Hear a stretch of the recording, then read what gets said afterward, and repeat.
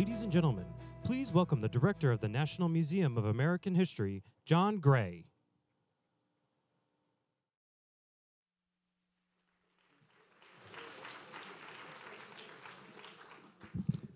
Well, Happy New Year, everyone.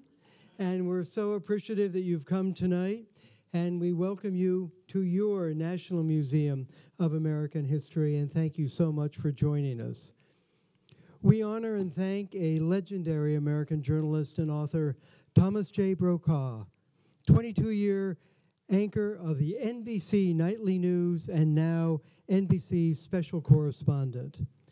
And we're pleased that so many distinguished guests are joining us tonight, including member, many members of the NBC family. We're honored that Tom's wife, Meredith, could join us, and Meredith is right down front. Welcome, Meredith.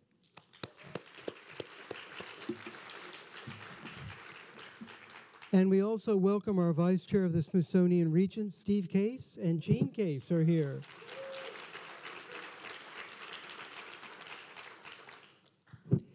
In a dramatic shift from just a few years ago, news, information, and indeed history are being disseminated through an ever growing, varied, and fractured array of channels and media. Many of us find ourselves searching for clarity around the fundamental questions that underpin our nation. What does it mean to be American? And what is the story of America? As the National Museum, we are focused on bringing the nation together through a real understanding of our shared American history. We are exploring fundamental American ideals and ideas like democracy, opportunity, and freedom to, to create the most engaging, interesting, and inclusive American history that helps people make sense of the present and shape a more humane future. Earlier this summer, as part of a 15 year, 600 million reinvention of every facet of our work, we opened a new floor dedicated to the nation we build together, one level above us. Our two keystone exhibitions, American Democracy, A Great Leap of Faith, and Many Voices, One Nation explore the power of our democracy and the history of citizen participation, debate, and compromise with a parallel story of the peopling of our nation. And beginning in 2018, we will open our third floor and complete our full transformation of the West Wing by exploring how democracy has shaped our distinctive American culture. Just inside the entrance to our new exhibition on American democracy is a humble but astonishing national treasure, the printing press on which Benjamin Franklin trained in London in the 1720s. From this press sprang forth an unparalleled life encompassing so many remarkable roles, from publisher, journalist, author, to statesman, diplomat, and scientist. But Franklin understood the power of a free press and its essential role in fostering a robust and vibrant democracy. Every American takes inspiration from Franklin's example, and we acknowledge the special role those who have created, defended, and sustained a free press, including our honoree tonight. As we express our sincere gratitude to our board member and chair of the Smithsonian Regents, David Rubenstein, we applaud and are deeply moved by his passion to make American history meaningful and engaging for all Americans. Through the National Museum of American History and its history organizations across our country. Your giving has taken on many extraordinary forms. We're particularly appreciative of your intellectual contributions to the nation and your efforts to bring us all together. So, who is a great American and why? Tonight, we will learn about American ideals and ideas from the conversation between David Rubenstein and Tom Brokaw. But first, let's learn more about this great American.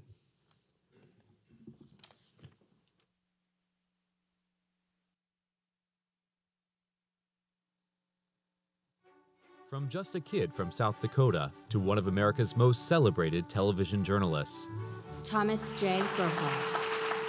Bringing the news to America for more than half a century, Tom Brokaw is a great American. Thomas John Brokaw was born February 6, 1940, in Webster, South Dakota. It was a momentous time in our nation's history, just as America began recovering from the Great Depression, and just before it became involved in World War II. Tom spent a happy childhood in South Dakota, excelling in school and in sports. But Tom always had his eyes on the horizon. He started his career in television journalism in 1960, Good evening. I'm Tom Brokaw. working first in the Midwest, then later in the decade in Atlanta and in Los Angeles. Senator Robert Kennedy brought his presidential campaign to Southern California today. As his career progressed, he had his eyes on one assignment in particular as a White House correspondent. In 1973, he got the job covering the White House for NBC. It is overcast and raining in Washington as President and Mrs. Nixon prepare to leave the White House for the last time as the first family. It was Tom's first opportunity to make an impression on a national stage, and more success followed. He went on to co host The Today Show with Jane Pauley, which brought him into millions of American homes every morning. I'm gonna hit you 10 times before you count two. All right. I'm fast. Watch Okay. it. When I say go, you say one, two. Okay. Go. One, two. You wanna see it again? From The Today Show, Tom took the ultimate step. He was tapped for the top job in television journalism as anchor of a national nightly news broadcast. Tom would hold the dual role of anchor and managing editor of NBC Nightly News for the next 22 years. Mark this day, May 2nd, 1994, as another major date on the calendar of freedom. where his voice became a trusted staple in American homes. The Soviet Union, as we have known it for most of the 20th century, is breaking up now. He carved out a unique approach as news anchor. He could just as frequently be seen reporting from the studio as from a far reaching corner of the globe, covering breaking news on the ground. Good evening, live from the Berlin Wall on the most historic night in this wall's history. Tom had gone on a hunch, and it paid off. He was the only American anchor to report from the fall of the Berlin Wall. But now, for the first time since the wall was erected in 1961, people will be able to move through freely. And he was the first American reporter to interview Mikhail Gorbachev. Are you prepared now to reduce the number of men, tanks, and attack helicopters that you have? Tom interviewed every U.S. president during his tenure, covered every presidential election, and spoke with the world's most important figures. The Chinese say that you're welcome to come back to Beijing, but only in a ceremonial religious post. I gather that that's not acceptable to you. Tom produced dozens of documentaries on issues as wide ranging and important as race, global warming, and the war on terror. A gifted writer, he's penned numerous best selling books. Most notably in his writing, he returned to the theme of what he knew best and first Now, you guys haven't been back here in 40 years. right. That's right, Tom. First time back. Yeah. The many lessons of those he famously calls the greatest generation. they were humbled by what they'd done. And I thought, oh my God, these are the people who raised me. And I thought, I've got to write about this. NBC News World Headquarters in New York, this is NBC Nightly News with Tom Brokaw. Good evening. After 22 years of bringing Americans the news, Tom stepped down as anchor from NBC Nightly News on December 1st, 2004. It's in that spirit that I say thanks for all that I have learned from you. That's been my richest reward. That's Nightly News for this Wednesday night. I'm Tom Brokaw. During the course of more than 50 years in journalism, he's won numerous awards. After Mr. Brokaw has spoken, it'll be days later before you realize the significance of this great American and the message that he is bringing to you tonight. To commemorate a lifetime of achievements, Tom has donated to the Smithsonian's National Museum of American History a piece of the Berlin Wall, a memento of his historic scoop covering its fall, and the saber presented to him as the recipient of the Sylvanus Thayer Award. It is West Point's highest honor, awarded to U.S. citizens that exemplify the ideals of duty, honor, and country. Tom has become an elder statesman for the highest quality in American journalism. We need to find a way that we can converse with each other and try to understand each other. We come from many times different cultures, but we're common Americans and we have to find a way in the future. From just a kid from South Dakota to one of the most celebrated and venerated news journalists, Tom Brokaw is a great American. His story is a part of American history.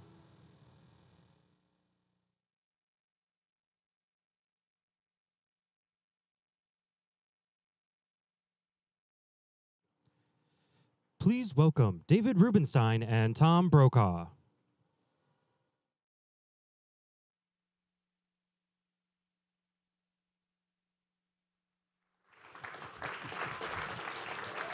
Thank you. For David. Do it for David. Thank you. Thank you. It's a great honor.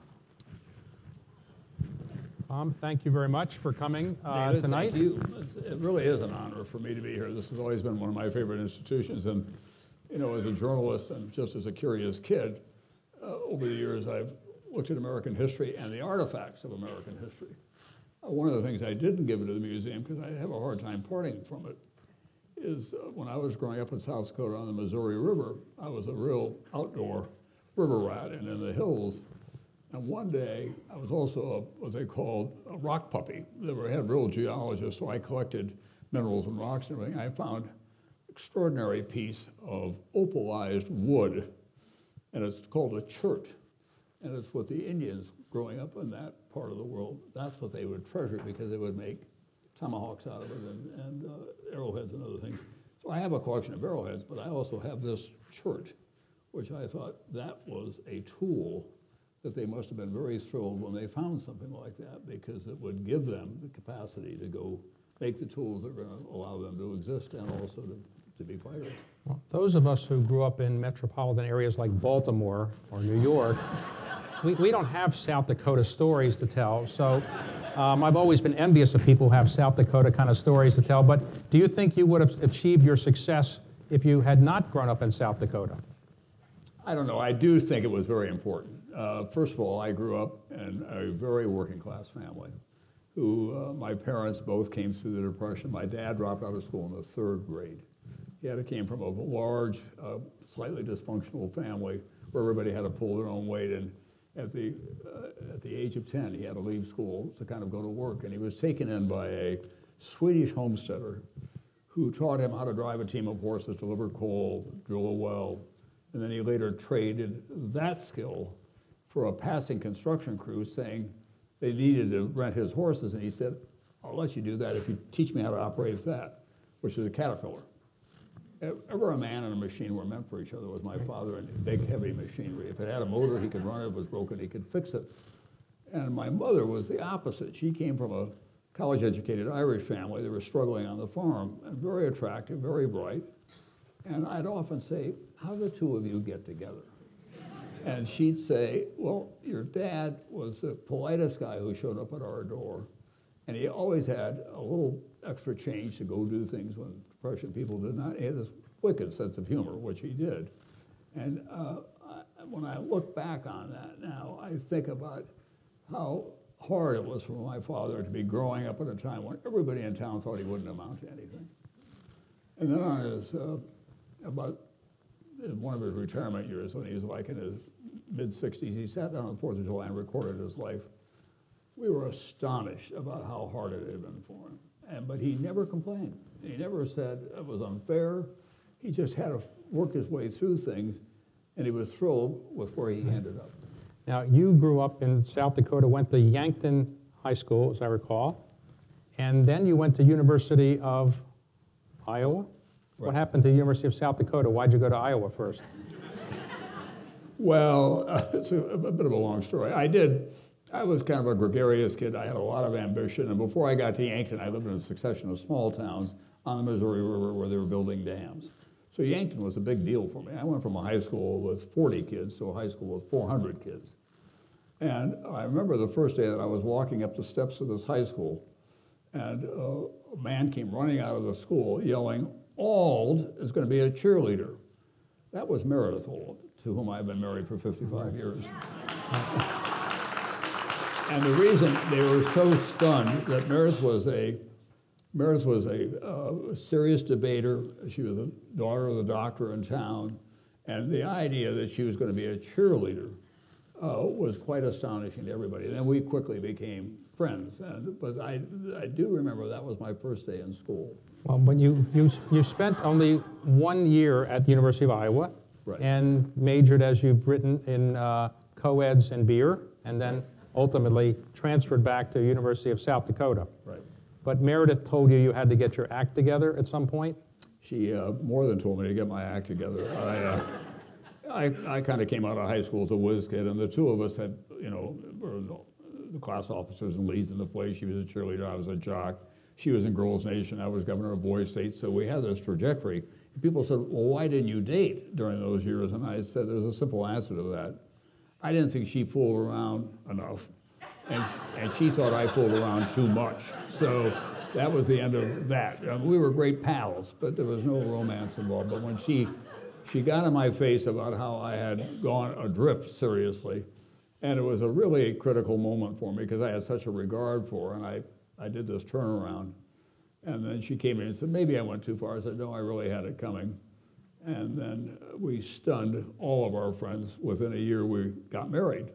And uh, no one saw that coming. And we set off from Yankton, South Dakota, in the least expensive new car that her father could buy for us on Main Street. Everything we owned was in the back seat, and they were all wedding presents. Right. And that was the beginning of this adventurous life that we've All right, so you have a great wife, but you have no job. Oh, Well, I have a great wife, but I did get a starter job, and it was in Omaha at a television station. I went down and effectively begged for this job, and the news director turned out to be a really important influence. He was a traditional, old-fashioned news guy, and he took me to lunch, and uh, an hour later, he said, I've never had anybody come to work for me who knows as much about politics as you do. We need somebody like that. And he said, I'll, I'll give you $90 a week to start. I said, I have to have 100. He said, you came begging for a job. You want a $10 raise before you start. And I said, I am marrying the daughter of a doctor. I need a three-figure salary. He'll think that I've got a future of some kind. And uh, he said, okay, you'll never get a raise. And he kept his word, by the way, for that. So you then worked for a few other uh, st- local stations, but then you got an opportunity to work for NBC affiliate in California, is that right? Well, no, what happened is that from Omaha, I got a big break. I was working the early morning shift, working Saturday nights. Meredith was teaching high school at Omaha Central High School. And by the way, the head of the English department, she was teaching English, the head of the English department was Warren Buffett's aunt. And I've often said when we were in Omaha, we knew the Buffett who could diagram a sentence. We didn't know the one who could make you really rich. So we, we missed something. Anyhow, there I am, and I'm, I'm, I'm kind of becoming familiar with NBC. They would come to Omaha. I got a call one night from the biggest station in America in those days was WSB in Atlanta, Georgia. It was the middle of the civil rights movement. It was a very, very prominent and very accomplished station. And the guy said, we hear wonderful things about you. We have an opening on our 11 o'clock news. I'm a 25-year-old white boy from Omaha, and I'm thinking, this can't be true.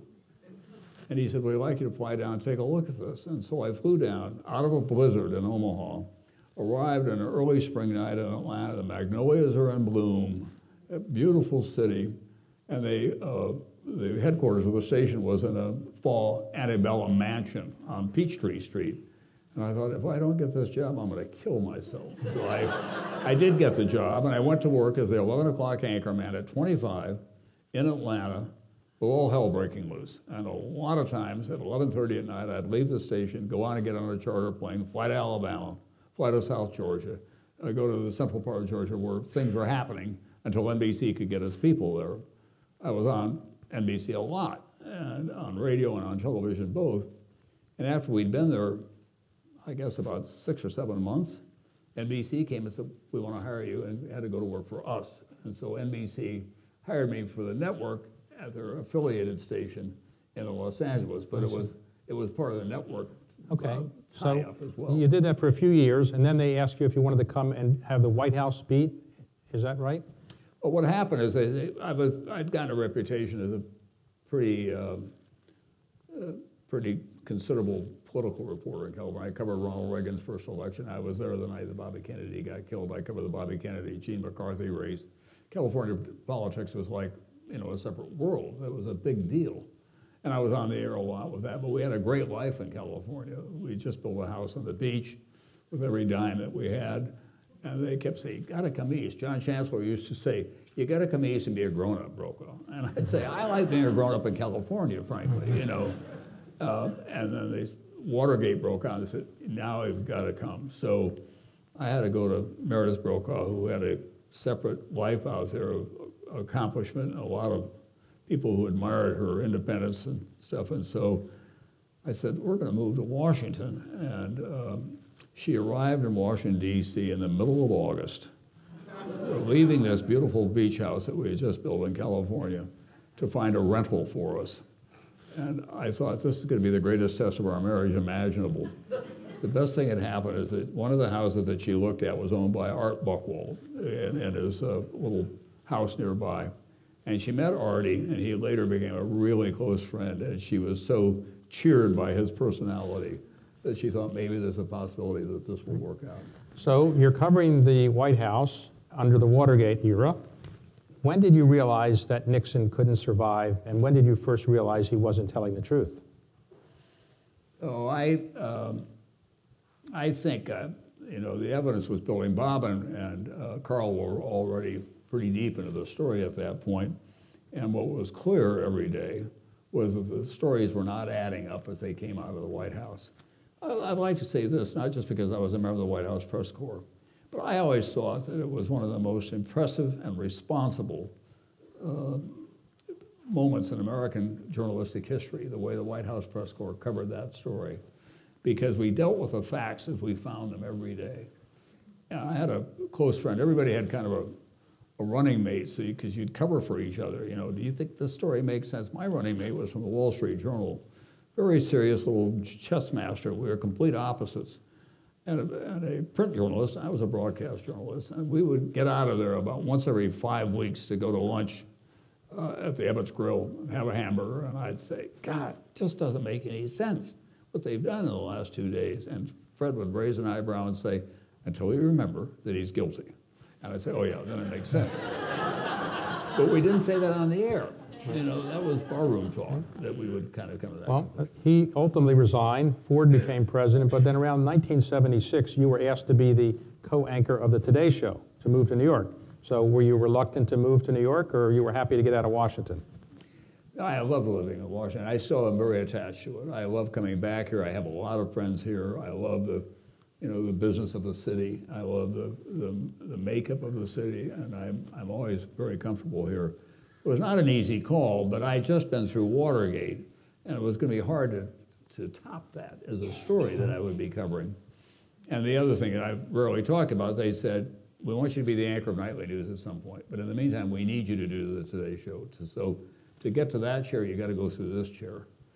And the Today Show in those days was by itself, frankly. It had no competition for all those years, so you could kind of do what you want to do. And it was much more serious than the morning shows are now. But as soon as I got there, ABC uh, kind of big, began to reinvent morning television with David Hartman, and they were very good at what they did. So uh, I was there for about two years, and we lost the lead uh, to David Hartman and ABC. And then the election came along in which Ronald Reagan was running for president. And we decided, the producer and I did, Steve Friedman, that I would be everywhere politics were. That I would go to every primary, be on morning, noon, and night. I would get on the plane and go to Egypt when Sadat was killed. I'd get on the plane when the shots were fired at the, um, at the Pontiff in, in Vatican City.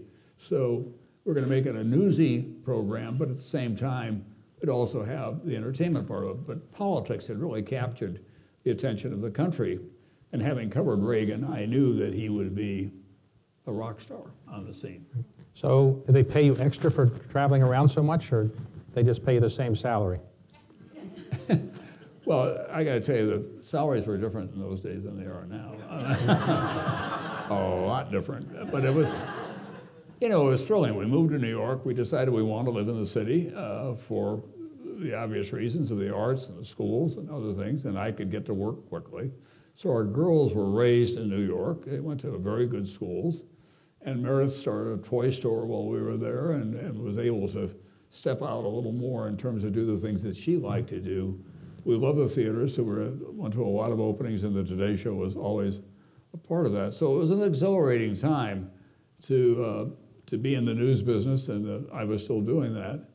And then I came to the end of five years at the Today Show, and I said, God, I don't want to be interviewing Cher the rest of my life, which is part of what you have to do, although she was very entertaining to, to Didn't you, for that interview. job, don't you have to get up like at four in the morning, and didn't you get tired of that? Yeah, but here's the best story about getting up at four o'clock in the morning. There are two parts to it. One is that you quickly learn that the most important thing you're going to do is right away. And it's going to be in front of, in those days, 35 million people. So, you know, you, you really had to be on your game when you got there. The other thing is people would always talk about the morning and how hard it is to get up. And I actually learned to kind of like it because if you'd wind down. You do the most important thing. You wind down the rest of the day. And instead of nightly news, you had to be at the end, at the end of the day at, the, at your best form. And then I got a letter when I was leaving, I, when I was leaving the Today Show, because there'd been a lot of attention to that kind of stuff, from a woman in Pennsylvania. She stuck with me. She wrote Mr. Brokaw, I remember a handwritten letter on lined paper. I read where you didn't like getting up early in the morning. Let me tell you about my, my job. I go to work at midnight. I work in a commercial laundry. And I push big cartons, bin, bins of wet laundry from a hotel through the night to get it washed and. And the only really good part of my day is when I get off at 7 o'clock in the morning and I go home and watch you and Jane Pauley on the Today Show. And then I have to get my kids off to school and do the other things. And so I tell that story to everybody who comes to the Today Show as a new, don't talk about getting up early in the morning. You're paid well, got a lot of help, and you're not working in a commercial laundry somewhere in Pennsylvania. Very instructive. Well, you got used to getting up early in the morning, you obviously liked it, but then they said it's time for the evening news show, and they paired you initially with somebody else. Well, the other thing, yeah, Roger Mudd and I started, it just didn't work. It was one of those things where you can't force chemistry. I have the highest regard for Roger, still do, was a great, one of the best journalists of his generation. But, but the show j- just didn't work. And Dan was at CBS, Peter was just starting at ABC, and we were not doing well. So uh, the powers that be at NBC decided I was the younger guy, I had been at NBC longer, and I didn't mind getting on a plane and going to where, where the action was, and I knew most of the NBC affiliates, so they chose me. Understandably, it didn't make Roger very happy. Uh, and then we began to turn things around, but it was not easy. And my, my MO was to, if there's a story, it's always a mistake not to go. So I went everywhere that it was going on. Well, you were the ultimately the anchor for 21 years, and among the places you went was, we saw in the video, Berlin. And what was it like to be there the night that the wall crumbled? Well, it was easily one of the most memorable nights of my career. Um, I didn't expect it to happen. People said, how'd you know? I said, I didn't know. We knew that, um, Jerry, uh, I had a colleague who was a foreign editor, and uh, he came to me one day and said, you know, there's not much going on in, in America right now, but, you know, it's getting very restless in Germany. They're pouring out of, uh, out of Berlin into Czechoslovakia, and there's a lot of pressure. They had overthrown uh, Egon Kurl, who was the the terrible, terrible guy who'd been running East Germany all those years, and they had a new Politburo, and it was chaos. And he said, "Why don't you just go and do two days?" So I went the first day. It was I got into East Berlin for the first time, and it was kind of quiet chaos there. And the next day, I went back and I said, I don't know whether we're going to need the satellite tonight, but we ought to keep it. In those days, you had to make an order in advance. You just couldn't hit the button. So um, Egon Krenz by then had been thrown, not quite in jail, but he was out of favor. And um, I'm going around East Berlin doing these stories, and late in the afternoon, uh, I was going to be at a news conference uh, where the head of the uh, Politburo information, so-called, would be presiding. So we went, and everybody, and he was kind of droning on in a bureaucratic way, and toward late in the news conference, somebody handed him a piece of paper, and he said, "Oh, the, the Politburo has decided that uh, lead, uh, the residents of the GDR can leave and return through any exit in the wall." We said, "Wait a minute, are you saying that they can go whether they have a visa or not?" He said, ah, "I think that's what this means," and he got up and walked off the stage. Everybody uh, in that room, there were a lot of East German journalists, for example, and our camera crew had been in Germany they'd been born in Germany, and they were all stunned by what they had just heard. I had an interview arranged with him, and I ran upstairs, and I remember my producer, a diminutive woman who had actually made the appointment for me, throwing her body against the door to keep other journalists out. Well, I did this interview with him. I said, read that again. So he read it again. And I said, this means that people can come and go. And he said, yeah, that's what it means. We have to do something to relieve the pressure. He was very cool about it. And I said, do you have any second thoughts about imprisoning these people? No. He said, I thought that the socialist system went on. So we grabbed the tape, ran downstairs, and I said to a group of my newspaper colleagues, it's over. The wall is coming down tonight uh, because it had been broadcast in East Germany. I got on the radio phone in those days in the car and said, wire everything tonight. We're going live from Berlin. We have a satellite at the Brandenburg Gate. And I went back and worked feverishly to get everything ready. Got to the gate about 25 minutes before we were supposed to go on the air, and the top of the wall was filled with West German students. The East German students were still terrified about coming across because the guards were there and the guards didn't know what was going on.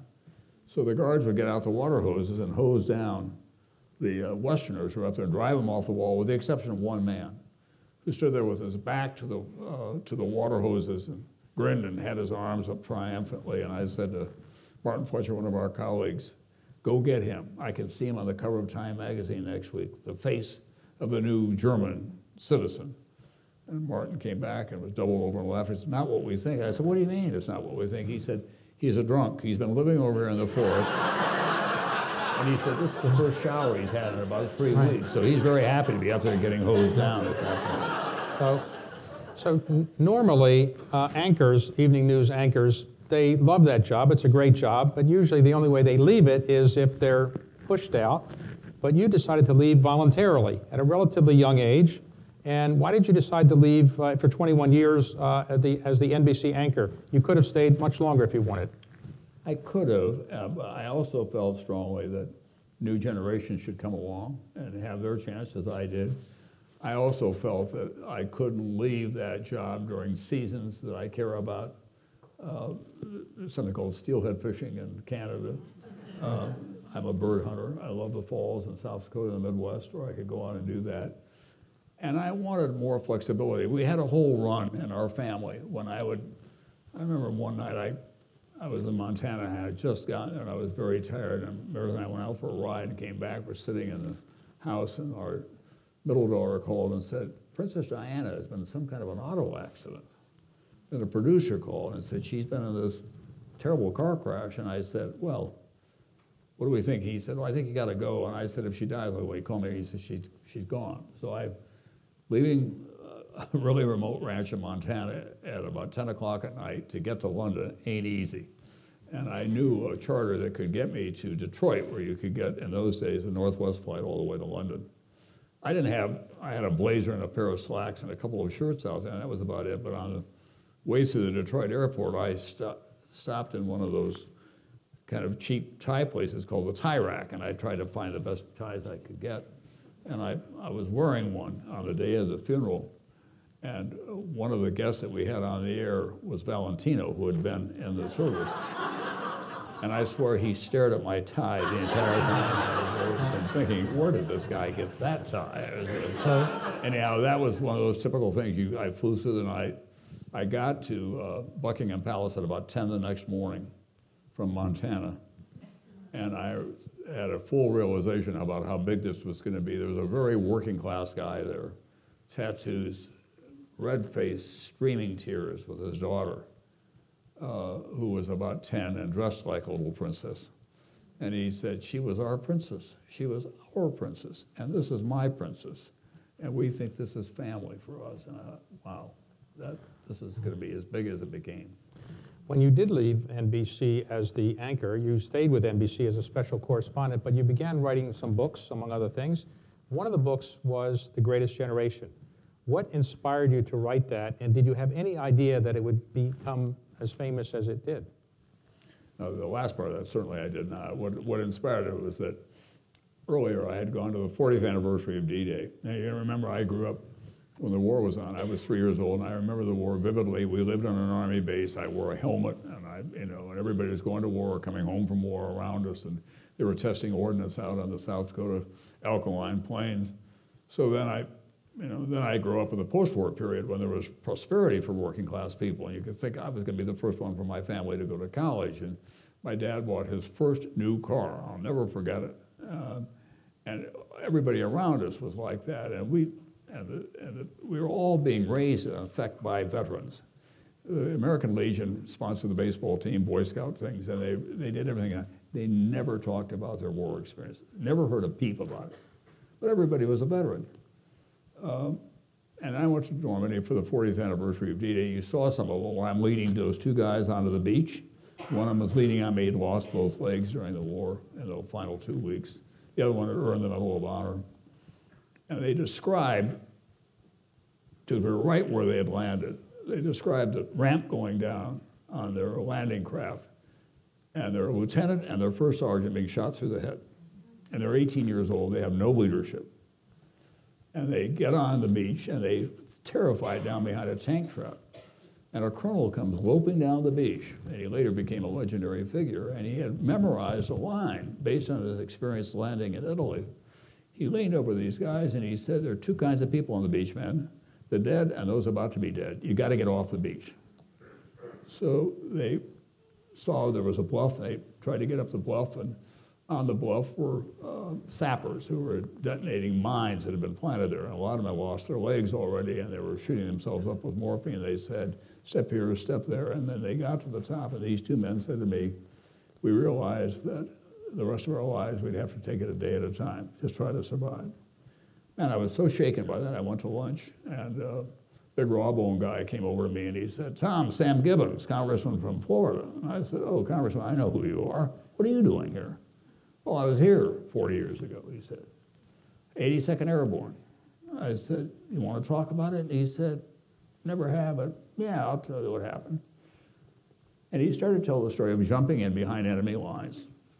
His team is scattered. His wife comes over because he began to cry. And she said, I've never heard these stories. And uh, he said, I've got to tell this story all the way through. Well, he had a terrible time. He put together a little crew, and uh, they fought back and forth up and down the road. They thought the invasion had failed and that they were going to be just shooting, tar- it'd be target practice for the Germans. And they kept fighting from village to village to village until they saw the hookup. And I'll share with you something that's a talisman of that experience for me that I, uh, I've kept in my pocket. He said, I said, how did you hook up with people? And he said, was this. Everybody had been given a cricket in the 82nd Airborne because they didn't know how they were going to communicate with each other. So he said, when I landed and stuffed my parachute away, I had none of my team around me. I didn't know where they were. So he said, I click once and hope. I hear that, which means I hear you and I'm coming. And he said, I clicked, heard the double click, guy came, clicked again, got another guy, and that's how they put together their teams. For me, the metaphor of this is now in our lives in this country, is that we all should either symbolically or realistically have one of these. And when we are so divided in so many ways, I would like this to be a new symbol of how we can get back together. Because when they responded, they didn't say, Are you a member of the Tea Party? Because I can't work with you if you're a member of the Tea Party. Are you a Republican? Are you a Democrat? I can't work with you. They just said, I'm coming, we're going to win this damn war. And they did against great odds. So kind of keep that in mind as we go through our lives, Democrats and Republicans and other people as well, about, and I really think that kind of could become a symbol of the time.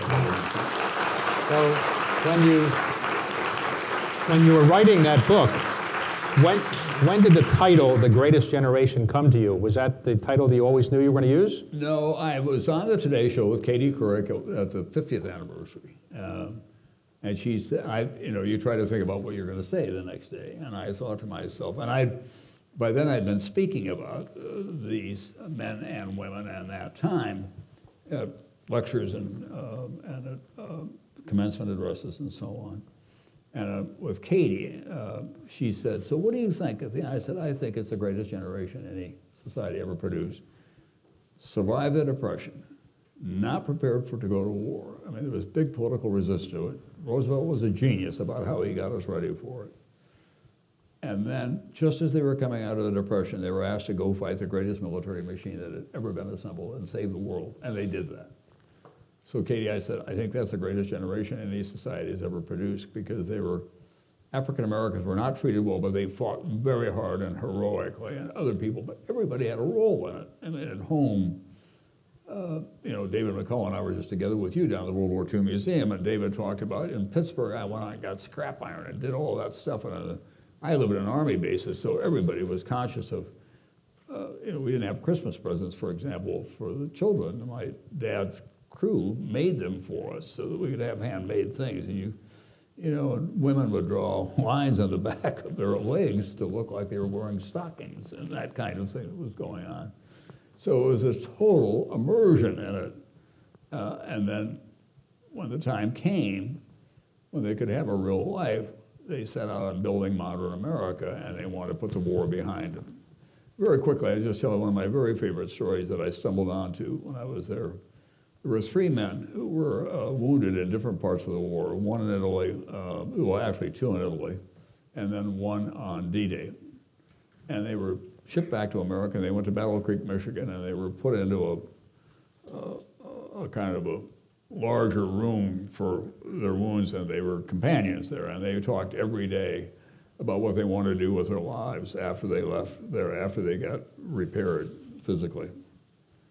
And one of them was Danny Inouye, the other one was Bob Dole, and the other one was uh, the man for whom the Senate office building is named. Uh, and so it was uh, an astonishing experience because they decided as they left there that they really wanted to be public servants for the rest of their lives. So you wrote a number of books relating to the Greatest Generation, but a more recent book was uh, a book called A Lucky Life Interrupted, and that was about your struggle with multiple myeloma. When did you first realize that you had this disease? I, uh, it was four years ago. Um, about now that I was diagnosed. And I had been a very active summer. I'd bicycled across uh, South America. Uh, Meredith and I had gone to Africa uh, because Nelson Mandela was dying. And we visited a friend. We were out in the bush doing a lot of stuff. I was fishing in Montana on the Missouri River. And I had this persistent backache. And um, the people I used for orthopedics would say, God, Thomas, your lifestyle, you know, you're always out there pushing the envelope. I don't see anything that should give us any alarm, but on the Missouri River one day I was fishing, and I was in the front of the boat, and I inexplicably fell. It was just not like me to do that, and I, and I had to have an ice pack all day. So I went back to the Mayo Clinic, and uh, my very, very smart internist there read all this orthopedic stuff. He said it shouldn't last this long. It shouldn't last this long. So on his own, this is an extraordinarily accomplished position. He is a internist he got blood, and he, then he did evidentiary medicine. He started eliminating the possibilities, and at the end of three hours, on his own, he said to the head of internal medicine, who was an oncologist, I think Tom Brokaw has multiple myeloma. So they called me and said, we want to share something with you, and they were going to start reading stuff off the charts. I thought they were going to say he got a parasite, because I used to pick them up when I'd be in the Middle East or in Africa. I thought, uh, blood invasion. And the oncologist, who I have later teased, must have been out of school when bedside manners were taught because he turned to me and he said, opening line, uh, you have a malignancy. It's called multiple myeloma. You know people who've died from this. Geraldine Ferraro died from it. She lived with it for 12 years. She did die from it. Frank Reynolds, the ABC anchorman, you must have known. I said, that's what he died from. I had no idea. I actually had I actually went into this kind of uh, bifurcated mindset. My journalistic instincts kicked in at that point. And I said, is there a cure? And they said, no, there's no cure, but we can maintain you, and we think that we can give you a, a good life. How long do I have? Well, the statistics now say five years, but you should do better than that because of your health and the advances that we're making. On the other half, I'm saying, just said I had cancer. I have a terminal case of cancer. I just can't find that hard to fathom. So we went through that back and forth. I could see my internist behind the kind of cold-blooded uh, oncologist, and he was looking quite concerned. I was on a crash course to get a documentary done on the 50th anniversary of the assassination of John F. Kennedy. I was writing it. And I was back in my room, and I and went back to the room kind of in a daze, and I thought, God, I've got to get this thing done. And I had my iPad open to multiple myeloma. What is it and how you treat it? I was working on this other thing. And uh, I was on the board of the Mayo Clinic at the time. And had, Thursday nights we had very important dinners in which donors come and do things, and I didn't show up for it. And one of my very, very close friends was on the board as well, and he called me. He said, "You're not here. What's up?" And I said, "You should come over and have a drink." So we went down to the bar, and I said, "I've got a cancer, Ron, and I, I don't know what this means, but it's obviously going to change my life." Uh, you know, I always remember we had one and a half martinis apiece. We shared the last one. And uh, I had to do a bunch of tests the next day and flew to Montana. I didn't want to tell Meredith on the phone. I wanted to tell her in person. I got there late, late at night.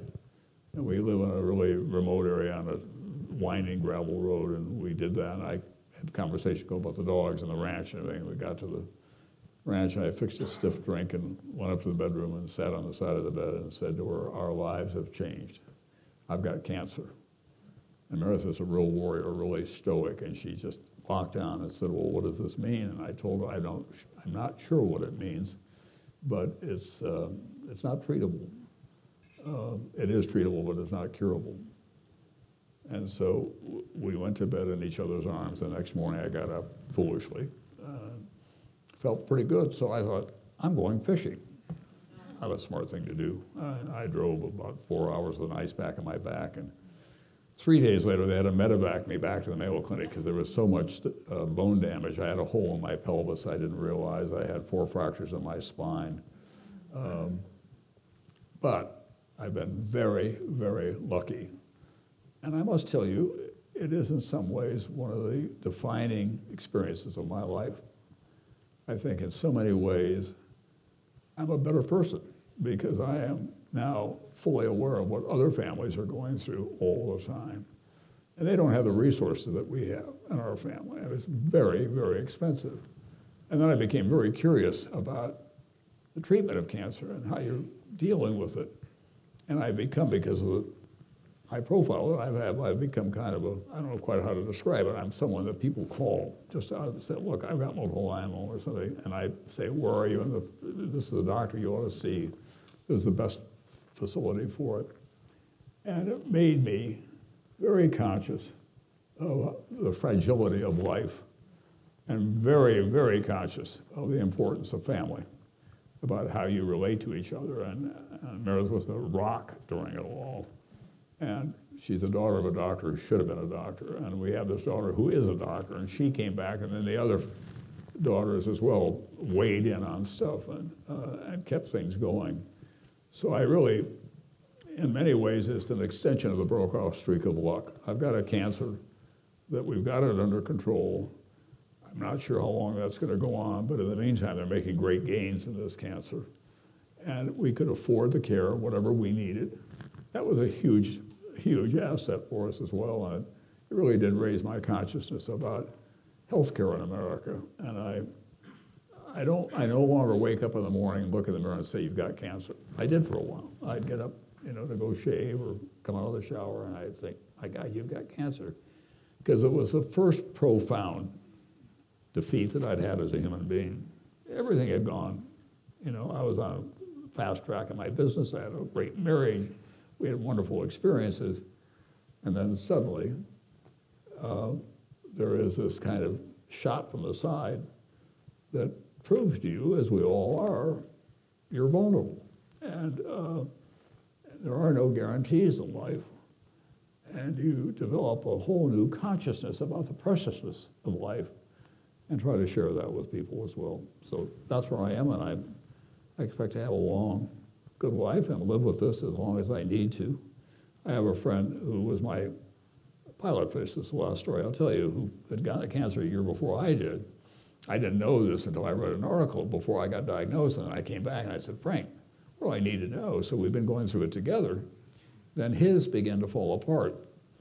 And he's in Philadelphia in a new experimental program developed by the Chinese, of all things, called CAR T immunotherapy, in which they've developed a way to unleash the genes that can kill the cancer. And it's very toxic, and it's not easy. But I had a note from him today saying, the doctors think with a reduction of my tumors, I may be eliminating multiple myeloma, which would be a huge triumph. So I, I cannot tell you how, what a fan I am of the work that's going on in cancer research and laboratories in the middle of the night. And by the way, this conversation we have about immigrants, a lot of them are immigrants. You know, they're coming here from East India, they're coming here from Italy and Spain, and they're coming from South America working in these labs. So I'm a lucky guy. Well, um, the book I, is one I highly recommend. It's extremely well written and very emotional, as your story uh, just now was. Uh, in the remaining time, I'd like to ask you two questions. One, what, as you look back on your life, what are you most proud of, and what do you see as the greatest legacy that you ultimately will have people think about you? I think I'm most proud of the fact of our family. And, uh, you know, I, I got very lucky in uh, meeting Meredith when I did, and we've had this wonderful life together. We're yin and yang. She's an expert bridge player. She's very meticulous in everything she does. I'm kind of a journalist out there, you know, freewheeling uh, and stuff. And she's very cool and calm about whatever there was. One of our favorite stories, I, I, will embarrass Meredith probably, but there was a time when I, when I couldn't relieve myself. I was in bed. I was paralyzed with pain. In the middle of the night, I'd have to call on her to help me. And she would get up, no complaints about it all, and you get these kind of funny bottles thing. And we, everything was slow motion, so I ended up calling it Tai Chi P because everything had to be done very slowly. and no one laughed harder than Meredith did. And then, then on my career, uh, what I'm most proud of is that I got it mostly right. And when I didn't get it right, I was quick to acknowledge that we didn't have it right. We need to work harder at it. I've never if ever one person was meant to have one profession, it was me in journalism. I just love the craft that I'm involved in. And of the things you would like to do over the remaining 10, 20, 30 years of your life, what are the, your objectives you have? Well, um, I, I, keep developing these goals, and then I keep setting them aside because I really revert to the things I really like best to do. I'm, I'm not happy with my handwriting. So I have ordered, I'm ordered a calligraphy set to try to get better with my handwriting. But it, it's been unopened, Meredith, for how long? For three months or something like that. I haven't opened it up yet. Uh, I'm trying to get better at the things that I like to do, like fly fishing and, um, and, and, that kind of thing. And I like, I love writing, uh, frankly. I, I didn't have the confidence when I first started writing. The first piece I ever wrote uh, for print a longer piece was for the LA Times on a terrible river running accident that I was involved in. Two people were killed, and I wrote that story. And they prominently displayed it in their magazine. And then I got more confident about my writing. And I, I really enjoy the process of it. I'm writing more for the Times. I got another op-ed page that's in the right now on the assembly line that I'll write for them. Um, and I still love television. I still love the craft of selling something visual that takes you to a place that you wouldn't get to otherwise. Fly fishing has been an important part of your life. So explain in the final question. Your brain is this big, the fish's brain is this big. Why is it so hard to outsmart a fish when their brain is this, yours is that big? Why is that so challenging? well, I'm going to tell you, I'm going to tell you a story about brains at the moment, which I've not talked about much. Is that uh, I'm, also gotten very curious about all this stuff because I woke up in Montana uh, three weeks ago and I looked out the window and it was a kaleidoscope. Nothing fit together. I stepped out of bed and I stumbled across the room with this terrible case of vertigo. And I went downstairs and our daughter, uh, the physician, said, my God, it could be a heart, could be stroke, we got to figure this out. We rushed to town. New uh, uh, facility there has very good CAT scans and everything. And they said, that's none of that. So I called my friends at the Mayo Clinic, and the, and the head of the Mayo Clinic is a neurologist. He said, We're sending a plane, you're going to be medevac to the clinic. I'm sure very few in this room have ever heard of a condition called vestibular neuritis. The inner ear is compromised for reasons they don't know. And it throws everything off balance because the inner ear sends the signals to the brain about balance. And so I was, I couldn't walk. I had to have a walker, I had to have a cane. And in four days uh, at the Mayo Clinic, these genius therapists and, and the others got me stable so I could walk without that. And they said, You're lucky because sometimes it goes on for two months. I'm not, I've got one more therapy session yet, but it was really weird. And so that gets me thinking about the brain, you know, and how it works and what we do. Well, you've come up with a improvement on Obamacare. Be on the board of the Mayo Clinic, and you can solve any problem, right? Well, I got to tell you that I, uh, uh, I'll give you a little peek at something. I, look, healthcare is 20% of our economy. We know that. It is complex. It affects every family in America. I don't think that this latest plan is going to fly. Uh, it, it may get somewhere down the road, but it is much more complex than that. I think that President Obama made a mistake by trying to do too much all at once at the beginning, and you couldn't repair it on the run, Right. frankly. It would have been better to take the 20% of the country or the, that didn't have coverage and just let's begin with them and then ease our way into it.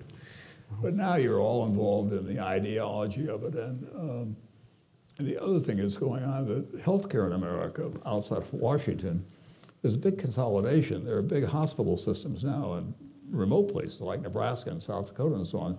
The small hospitals have gone away because they're just not economically feasible to run. So it is very complex for those big places to run on a, and I know this from my Mayo experience, to run on a physically uh, responsible basis. And uh, if you make a state decide whether they want to do Medicaid or not, that's going to have an enormous social impact on this country. People are not, well, I'm not going to move to Iowa. They don't have Medicaid. They're, they've decided in that state not to do it. It'll have shifts of all kinds. And the fact is that this is a perfect example where we've got to get together. And I think a lot of the blame, Republicans promised for seven years that they were going to get rid of Obamacare. And I do think it needed a lot of improvement. But in seven years, they mostly just voted we're going to throw it out. And then when the time came, they didn't have a plan.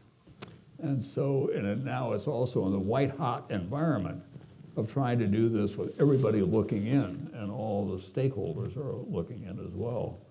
Um, I can't think of a more important, frankly, domestic uh, issue for us than getting this right. And maybe the way, only way we can get it right is say, okay, we're going to do the best we can for the next year on the system that's in place. We've got to put together uh, really a bipartisan group to try to work this out.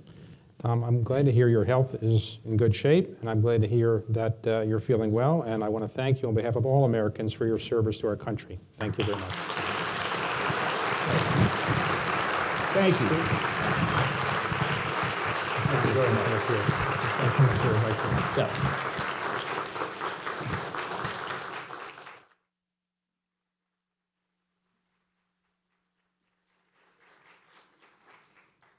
So, Tom, thank you very much. And also, thank you for your donation to the nation's collection with the West Point Presentation Saber, which we received from the United States Military Academy for embodying its motto duty, honor, and country. And for two pieces of the Berlin Wall from November 9th, 1989, commemorating your historic live reporting from that remarkable moment in history and several other important objects will be joining our collection of national treasures to be preserved and shared with the American people and the world in perpetuity. So, Tom, would you please sign your life away with this document, which in essence is a deed of gift for what you've given to the national collection?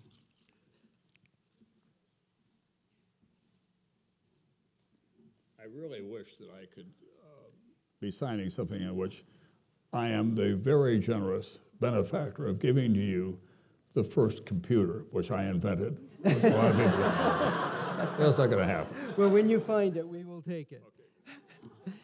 And it is now my privilege, on behalf of the Smithsonian's National Museum of American History, to present the Great Americans Medal to Thomas J. Brokaw for his commitment for his commitment to journalism and steadfast defense of freedom of the press and a life of public service in the furthering of American democracy, for recording the accomplishments of the greatest generation, for bringing a voice of assurance and trust as the American people face the impact of September 11th, 2001, for his uncompromising principles based on American ideals and ideas, through these values and achievements, he defines service at the highest level and the true meaning of a great American. Congratulations. Thank you.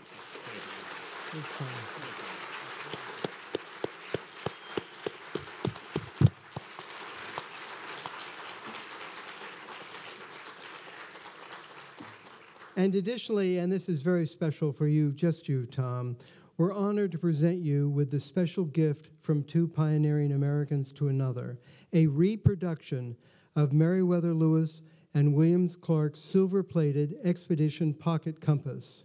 It's on view in our exhibition, The American Presidency, and we have brought it out here today for you to see. Lewis and Clark used this compass to help guide their journey across a new country. The compass was one of the few instruments to survive their harrowing trek. May it continue to help you guide the American people towards greater knowledge and freedom. Thank, Thank you. you. Thank you very much.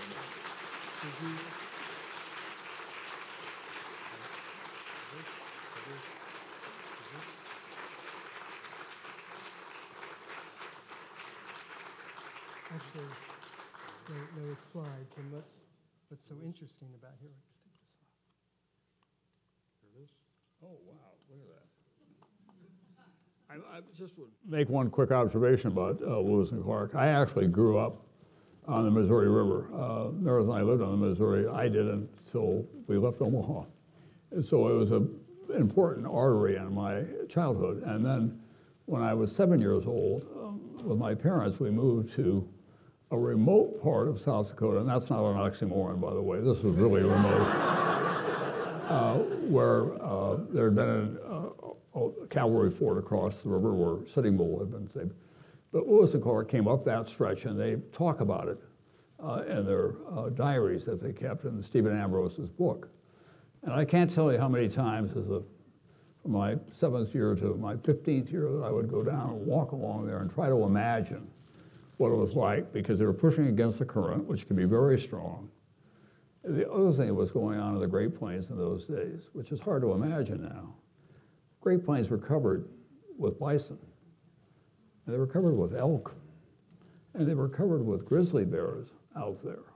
There was an extraordinary American savanna that existed, and how they accomplished not just that part of the trip, but then they get into Montana and they go through the mountains and they get to Lolo Pass thinking they're going to see the Pacific Ocean. And mm-hmm. that's on the western end of Montana. They got to get it all the way across now to the Pacific Ocean, the Grove on, and then come back. On the way back, Lewis says to Clark, Do you remember that river that we crossed as we were getting up now as the Montana North Dakota border? I want you to go find that. And then I want you to float and we'll reconnect. Imagine this in the middle of the wilderness. We'll reconnect at the Missouri and what is now another river called the Yellowstone River. So Sacagawea knew where that river was, and she led the smaller band across the mountains down to where we now spend a lot of our lives onto the Yellowstone River. And they began this kind of northeastern uh, expedition, and they had their horses stolen by a Crow tribe. So they built bull boats out of willows, and they floated on the Yellowstone River. And they had to wait one whole day. Well, a bison herd was so great that it took a whole day for it to go across the river. And they finally get to the confluence of the Yellowstone and the Missouri River. And in a bush nearby was a piece of leather parchment. And it was a note from Lewis to Clark saying, we left here, I don't remember the dates now, it was July. It was like three days earlier. Come fast, I need your help. And so Lewis and Clark pushed his team down and they caught up to him. And his friend Lewis had been uh, wounded in a hunting accident in his buttocks. And he was in terrible shape, and Clark cleaned it up and got him kind of repaired, and then they went on to St. Louis. And when they arrived in St. Louis, people were astonished. Everybody had given up for dead. And Lewis said, Where's the mail boat? We need to send a note to the president, President Jefferson. And they said it left a day or so. He sent his best man after the mail boat, turned it around, came back to St. Louis. And he sent a message to President Jefferson saying, We've accomplished our mission. We've seen the Pacific Ocean. We've learned so much about North America. And for the first time, he signed it Lewis and Clark. Because Clark had been told by the military, or Lewis had been told by the military, that Clark could not have equal rank. But Lewis always treated him as an absolute equal. I find that one of the most riveting stories about it, and quite honestly, what I've done here is replicate the way that it was always told by candlelight around our dinner table in Montana by Stephen Ambrose. And he could hold the whole audience in his hands, so that's something to.